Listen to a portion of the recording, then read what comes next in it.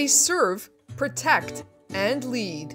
Meet the key women who are shaping the future of Israel's forests and helping to keep them alive. Ahead of International Women's Day, KKL JNF is highlighting some of its top workers, including its recently appointed chairwoman, Ifat Ovadia Lusky. Founded in 1901, the Keren Kayemet LeIsrael Jewish National Fund, or KKL-JNF, has planted over a quarter of a billion trees in Israel in the past several decades. For the first time ever, a woman was appointed to head the organization.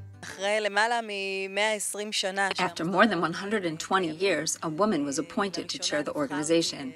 I think that my appointment really sends a message to the people of Israel. This is a historic decision. A survey published before International Women's Day showed that women still have a long way to go when it comes to holding executive roles. According to Moody's Analytics, worldwide, women hold only 23% of all senior positions. In Israel, the picture is not any rosier. Though exact figures are hard to find for the workplace as a whole, in high tech, women take up less than a quarter of management roles, according to a recent startup Israeli ecosystem diversity report. When it comes to the KKL JNF, Ifat is hoping to make a positive change. There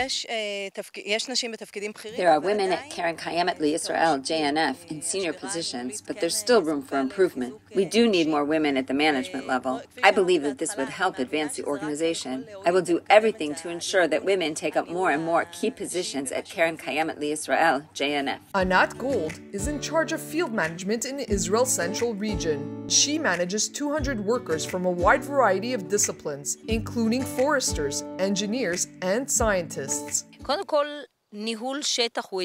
a field manager is a challenge, and many women today like that. We have many foresters. What's new is that we're beginning to see more and more women in this area.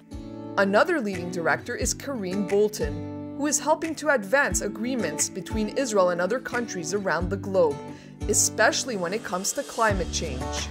International relations and climate change are extremely, extremely important, especially to our organization, and I think that's the future.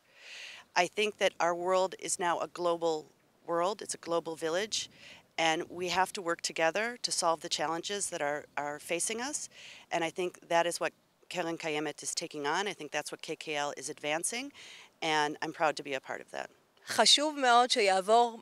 It's important to get the message across that we women can leave our comfort zones and the golden cages which we sometimes find ourselves in and aim high.